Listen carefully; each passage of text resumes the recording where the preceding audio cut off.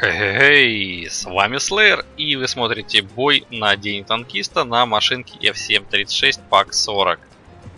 Как и многие из вас, я тоже выкатывал разные машинки, и в данном случае я выкатывал F736 PAK 40. Почему я выкатывал? Все очень просто. У меня здесь экипаж 93%, и, соответственно, грех не воспользоваться такой возможностью прокачать экипаж в 5 раз быстрее.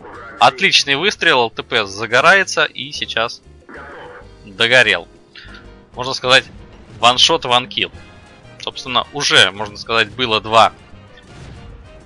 Три. Уже три. То есть уже, можно сказать, коса смерти у меня есть. Хотя, по-моему, мне косу смерти здесь потом надо совершенно не за эту вот серию, а за другую серию. Наверняка, наверняка многие будут в комментарии к этому видео писать, ах ты пидобир, там и так далее, маленьких обижаешь. А еще раз говорю, у меня здесь экипаж 93%, это говорит о том, что я здесь катаюсь крайне редко. И, собственно, то, что я выкатил именно в X5 сбить, это как раз доказывает. Но пока стоим, ждем. Может быть где-то что-то проявится у нас, что-то интересное будет. Ну вот, собственно, у нас и жертва есть. Отлично, свожусь. Смотрите, как он не очень хорошо его видно. Но хорошая, хорошая точность достаточно. Позволяет вот такие чудеса совершать. Но единственное, что, конечно, у меня здесь стоит стереотруба и сеточка. Все-таки это ПТшка. И отмечу ее минусы. Это очень маленький сектор обстрела, то есть горизонтальный угол очень маленький, градусов по 5 в каждую сторону. И очень низкая динамика. То есть она там едет километров 15, там в лучшем случае, там, может быть, 18, не помню.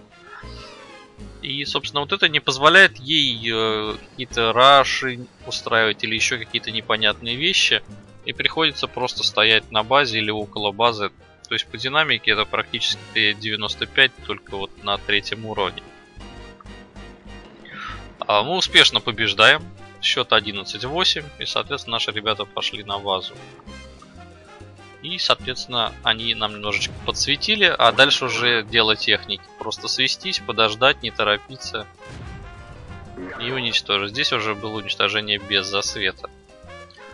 И остается у врага две машинки, и вот одна из них. Сейчас мы ее будем играть. Свелся, но хорошо как бы продамажил, но не хватило этого. Фраг ушел. Остается М7, последний фраг.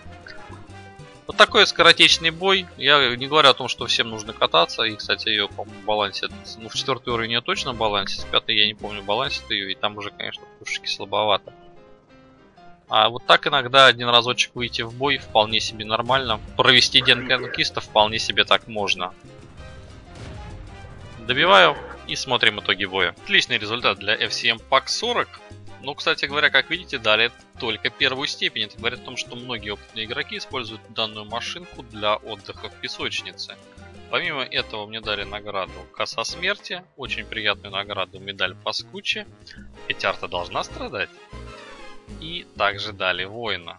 Как видите, досталось очень многим машинам, уничтожил 8 машин, еще и посвятить умудрился. Я обращаю внимание, что экипаж у меня 93%. То есть экипаж очень даже скромный. Ну понятное дело, что похвастаться такими результатами здесь больше никто не может. И это самое приятное, что это даже рекорд на этой машинке, но, собственно, на машинке я практически и не езжу. Ну и по акции еще дали немножко денег.